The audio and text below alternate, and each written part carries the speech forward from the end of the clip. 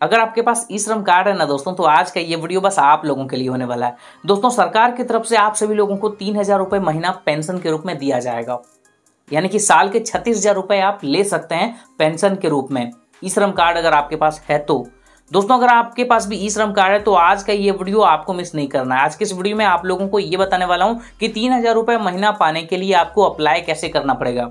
दोस्तों, मैंने ये इस वाले वीडियो में डिटेल से आप लोगों को बता के रखा है कि तीन हज़ार रुपये महीना जो हमें मिलने वाला है ई श्रम कार्ड वालों को, जो तीन हज़ार रुपये पेंशन मिलेगा, वो आखिर कैसे मिलेगा, किस योजना के तहत मिलेगा, उसका एलिजिबिलिटी क्या है, बेनिफिट क्या है, डिटेल से मैंने इस वाले वीडियो में ऑलरेडी आप लोगों को बता के रखा है। लेकिन आज की इस वीडियो में अप्लाई करने का प्रोसेस में आप लोगों के साथ शेयर करूँगा, क्योंकि वो वीडियो में मैंने बताया था कि वो वीडियो लंबा हो जाएगा, इसलिए मैं अप्लाई करने का जो प्रोसेस होता है, वो अलग से आप लोगों को दे दूँगा, ठीक है? तो अप्लाई करने का जो प्रोसेस है दोस्तों, मैं आज के इस वीडियो में डिटेल से स्टेप बाय स्टेप आप लोगों को बताने वाला हूँ। अगर आपके पास भी ई श्रम कार्ड है दोस्तों तो अभी से लेके इस वीडियो को लास्ट तक ज़रूर देखिए और चैनल पर नए दोस्तों तो सब्सक्राइब पे क्लिक कर दीजिएगा। तो चलिए शुरू करते हैं। ई श्रम पेंशन योजना से जुड़ने के लिए, आवेदन करने के लिए दोस्तों, सबसे पहले आप लोगों को ई श्रम की ऑफिशियल वेबसाइट पे आ जाना है, जिसका लिंक डिस्क्रिप्शन पे मिल जाएगा। यहाँ पे आने के बाद दोस्तों, देख सकते हैं, यहाँ पे बीच वाला जो ऑप्शन दिया गया है, तीन हज़ार रुपए माह पेंशन के लिए रजिस्टर करें तो आपको यहीं पे क्लिक कर देना है। यहाँ पे रजिस्टर करें पे क्लिक करेंगे दोस्तों तो आपके पास कुछ ऐसा इंटरफेस आएगा। यहाँ पे देख सकते हैं, श्रम एवं रोज़गार मंत्रालय, कृषि एवं किसान कल्याण मंत्रालय की तरफ़ से एक वेबसाइट आपके सामने ओपन हो जाएगा, जहाँ पे देख सकते हैं, यहाँ पे प्रधानमंत्री श्रम योगी मानधन योजना जो मिडिल वाला दिख रहा है दोस्तों, यही योजना में आप लोगों को कैसे आवेदन करना है, इसका इन्फॉर्मेशन देने वाला हूँ।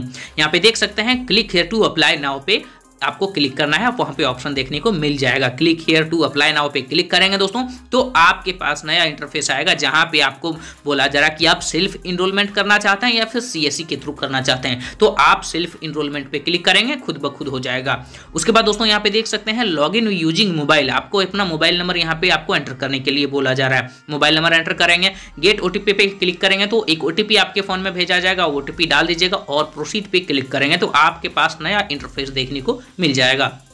यहाँ पे दोस्तों आप लोगों को ई श्रम मानधन योजना का जो डैशबोर्ड है वो यहाँ पे देखने को मिल जाएगा दोस्तों। यहाँ पे देख सकते हैं इनरोलमेंट पे क्लिक करेंगे तो यहाँ पे देख सकते हैं प्रधानमंत्री श्रम योगी मानधन योजना का आपको यहाँ पे एप्लीकेशन दिख जाएगा, उसी पे क्लिक कर देना है। उसके बाद यहाँ पे देख सकते हैं सब्सक्राइबर आधार देना है, यानी कि आधार कार्ड का नंबर देना है। उसके बाद यहाँ पे देख सकते हैं सब्सक्राइबर नेम देना है, आपका नाम यहाँ पे एंटर करने के लिए बोला जा रहा है, फिर आपका मोबाइल नंबर आपको देना होगा ईमेल आईडी भी देना होगा। उसके बाद यहाँ पे आप डीओ भी दे सकते हैं, यानी कि डेट ऑफ़ बर्थ देंगे। उसके बाद यहाँ पे आप अपना जेंडर सेलेक्ट करेंगे मेल फीमेल या फिर ट्रांसजेंडर तो आप यहाँ पे ये जेंडर भी सेलेक्ट कर सकते हैं। उसके बाद आपको यहाँ पे स्टेट या और डिस्ट्रिक्ट वगैरह पिन कोड वगैरह, सब कुछ यहाँ पे आपको सेलेक्ट कर लेना है, ठीक है? वहाँ पे ड्रॉप डाउन मेन्यू से ए टू जेड आपको यहाँ पे सिलेक्ट कर लेना है। उसके नीचे आएँगे दोस्तों तो यहाँ पे आप देख सकते हैं do you belong to north eastern region अगर आप एन ई आर से आते हैं तो यहाँ पे यस करेंगे, यानी कि अगर आप नॉर्थ साइड से आते हैं तो यहाँ पे यस कर दीजिएगा अदरवाइज़ नो करेंगे। अगर साउथ से आते हैं तो नो कर देंगे। उसके बाद यहाँ पे सब कैटेगरी भी सेलेक्ट करना के लिए आपको बोला जाएगा तो सब कैटेगरी भी सेलेक्ट कर लीजिएगा। उसके बाद यहाँ पे ऑक्यूपेशन आपको सेलेक्ट करने के लिए बोला जा रहा है वो अभी सेलेक्ट कर लीजिएगा। उसके बाद यहाँ पे देख सकते हैं दोस्तों कि आप एनपीएस ईएसआईसी e या ईपीएफओ में रजिस्टर हैं तो वहाँ पे नो कर दीजिएगा। और यहाँ पे देख सकते हैं इनकम टैक्स पेयर है, यहाँ भी नो कर दीजिएगा, क्योंकि ये जिनका जिनका इनकम टैक्स फ़ाइल होता है या फिर जिनका पीएफ का खाता है दोस्तों, वो ई श्रम के लिए यहाँ पे पेंशन योजना के तहत एलिजिबल नहीं होता है तो वो आपको नो कर देना है। और यहाँ पे देख सकते हैं ई श्रम कार्ड का जो नंबर यहाँ पे दिया गया है दोस्तों, यानी कि यूएएन नंबर यानी कि ई श्रम कार्ड का नंबर वो नंबर यहाँ पे आपको डाल देना है।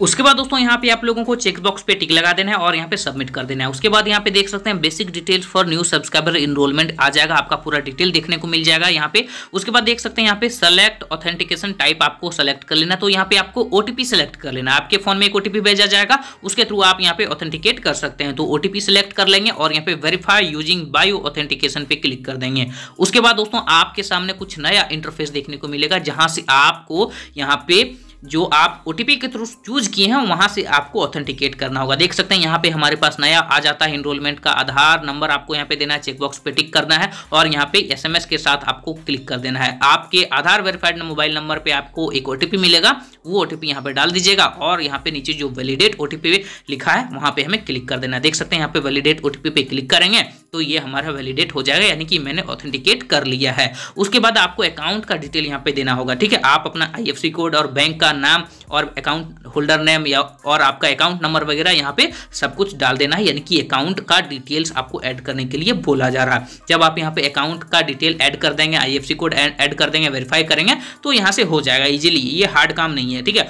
उसके बाद यहाँ पे आपको नॉमिनी डिटेल्स भी ऐड करने के लिए बोला जाएगा। अगर आप नॉमिनी ऐड करना चाहते हैं तो बिल्कुल यहाँ पे कर सकते हैं। देख सकते हैं यहाँ पे मैरिटल स्टेटस अगर आपको बोला जा रहा है मैरिड या फिर अनमेरिड अगर मैरिड तो मैरिड सेलेक्ट कीजिए अनमेरिड सेलेक्ट कीजिए, अपने अनुसार यहाँ पे आप लिख सकते हैं, जो भी आप यहाँ पे देना चाहते हैं, जिसको भी नॉमिनी ऐड करना चाहते हैं दोस्तों, उनका नाम देना होगा आपको, उनका डिटेल देना होगा, और उनके साथ क्या रिलेशन है, वो भी आपको यहाँ पे देना होगा। उसके बाद देख सकते हैं, जैसे ही आप यहाँ पे सबमिट करेंगे दोस्तों, उसके बाद आपके पास कंट्रीब्यूशन फ्रीक्वेंसी आ जाएगा कि कितना मंथ में आप यहाँ पे क्वार्टरली आप जमा करना चाहते हैं या फिर हाफ़ ईयरली करना चाहते हैं ईयरली करना चाहते हैं या फिर वन बाय वन करना चाहते हैं मंथली करना चाहते हैं तो आपको यहाँ पे देखने को मिल जाएगा। आपका जो एज रहेगा ना, उसके मुताबिक यहाँ पे आपको बता दिया जाएगा कि इस एज में आपका जो कंट्रीब्यूशन बन रहा है, वो कितना रुपए का बन रहा है। यहाँ पे देख सकते हैं सेवेंटी सिक्स रुपए का कंट्रीब्यूशन हमारे इस क्लाइंट के साथ बन रहा है, यानी कि इसको मंथली छिहत्तर रुपए यहाँ पे इनको पे करना होगा। और जैसा मैंने बताया था दोस्तों कि जितना आपका यहाँ पे जमा करने के लिए अमाउंट आएगा, उतना ही गवर्नमेंट की तरफ़ से भी मिल जाएगा।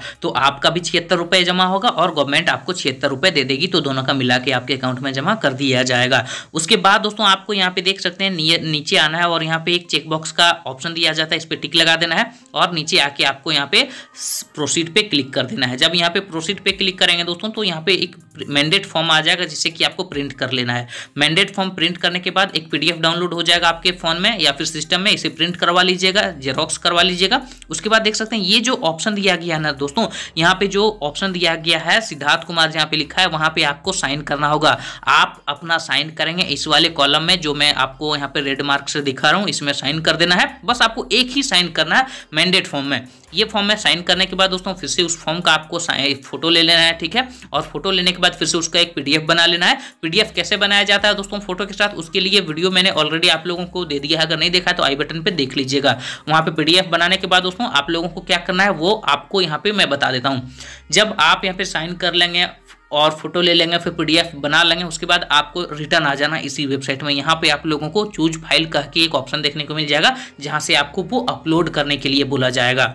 तो जो पीडीएफ आप यहाँ पे बनाएँगे दोस्तों, उसको आपको यहाँ पे सेलेक्ट करना होगा। ब्राउज पे क्लिक करेंगे, जो पीडीएफ आप यहाँ पे साइन करने के बाद बनाए उस पीडीएफ को आपको सेलेक्ट करना है और ओपन पे क्लिक कर देना है। यहाँ पे देख सकते हैं अपलोड स्कैन कॉपी पे आपको क्लिक कर देना है तो ये अपलोड हो जाएगा। जब ये अपलोड हो जाएगा दोस्तों तो आपको पेमेंट करना होगा। फ़र्स्ट मंथ का जो प्रीमियम है, छिहत्तर वो आपको पेमेंट करना होगा। Pay using C C Avenue पे क्लिक करेंगे दोस्तों तो यहाँ पे आपके सामने debit card credit card UPI से पेमेंट कर सकते हैं। तो फ़र्स्ट मंथ का छिहत्तर आप अपने डेबिट कार्ड से पेमेंट कर दीजिएगा और पेमेंट डन होने के बाद आपको क्या करना है, वो दिखा देता हूँ कि पेमेंट दे देने के बाद कार्ड आपको कब मिलेगा कार्ड आप कैसे चेक करेंगे?